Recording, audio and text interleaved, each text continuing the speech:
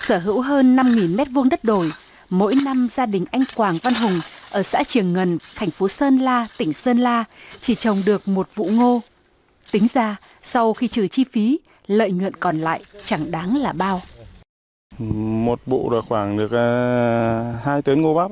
Một năm thì đa số ở đây thì nó tận dụng mùa mưa thì nó đa số là trồng một vụ thôi. Thu nhập của từ cây ngô khoảng được 5 triệu bán ra thị trường. Chi phí vào nó hết khoảng 3 triệu nó trả được láng được bao nhiêu. Không chỉ riêng anh Hùng, nhiều nông hộ tại xã Tú Nang, huyện Yên Châu, tỉnh Sơn La cũng trong tình cảnh tương tự. Để sản xuất lúa thì mỗi một năm cũng chỉ được một vụ. Một xào thì sẽ thu được khoảng 2 đến 3 tạ.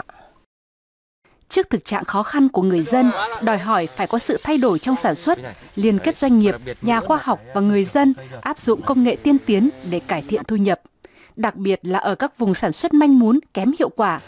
Dự án hỗ trợ phát triển sản xuất chuối tiêu hồng liên kết theo chuỗi giá trị gắn với tiêu thụ sản phẩm, quy mô liên huyện được triển khai trong thời gian qua là hướng đi phù hợp với mục tiêu này và lợi thế điều kiện tự nhiên của tỉnh Sơn La. Dự án ờ, ờ, uh, chuối này là do Văn phòng Nông thôn mới tỉnh Sơn La uh, là, và kết hợp với lại uh, Trung tâm nghiên cứu thực nghiệm rau quả gia nâm viện nghiên rau quả và Ủy ban nhân dân các xã cũng như là phòng kinh tế ờ, để kết hợp xây dựng dự án này thì ờ, mục đích ờ, của cái dự án này đấy là chúng tôi sẽ xây dựng được cái vùng sản xuất chuối tập trung chất lượng và đạt cái an toàn và xây dựng được một cái mối liên kết chặt chẽ giữa người nông dân, nhà khoa học cũng như là doanh nghiệp và để tạo công an việc làm cũng như là tăng cái thu nhập cho người dân.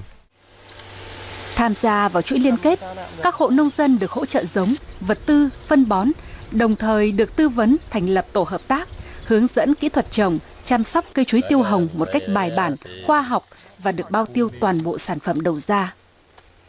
Đây là giống chuối tiêu hồng nuôi cấy mô được Viện Nghiên cứu Rau quả tuyển chọn, phục tráng và nhân giống. Giống đã được Bộ Nông nghiệp và Phát triển Nông thôn công nhận, cho phép sản xuất trên diện rộng theo hướng hàng hóa tập trung.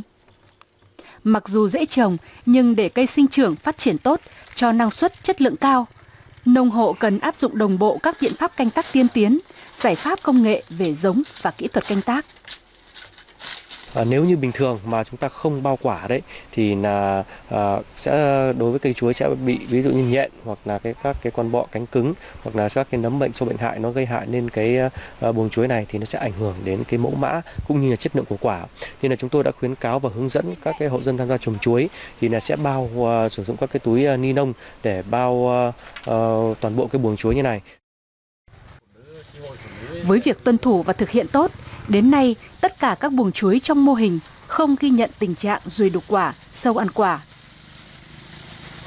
Từ những vườn cây manh mún nhỏ lẻ với nhiều chủng loại cây, đến nay người dân ở hai xã Triềng Ngần và Tú Nang chẳng thể ngờ có thể hình thành nên vùng trồng chuối tiêu hồng với diện tích lên tới 30 hecta.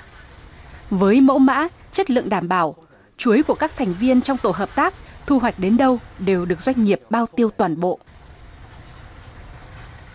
Hiện tại thì mỗi một buồng chuối ờ, có có buồng thì được ờ, hơn là 10 đến 11 nải.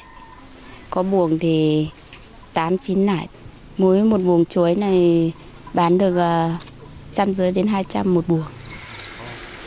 Tại Sơn La, đây là mô hình đầu tiên áp dụng đồng bộ kỹ thuật, công nghệ canh tác tiên tiến trên cây chuối, hứa hẹn sẽ tạo ra thương hiệu hoa quả sạch, chất lượng cao, đồng đều chủ động được sản lượng để đảm bảo cung ứng cho thị trường ổn định.